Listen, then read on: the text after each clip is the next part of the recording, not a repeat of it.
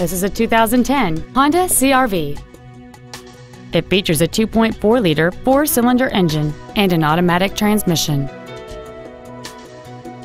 Its top features include a moonroof, heated front seats, aluminum wheels, and satellite radio.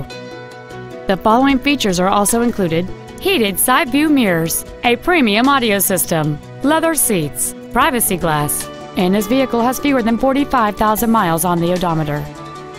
This vehicle is sure to sell fast. Call and arrange your test drive today. Hendrick Honda Charlotte is located at 8901 South Boulevard in Charlotte. Our goal is to exceed all of your expectations to ensure that you'll return for future visits.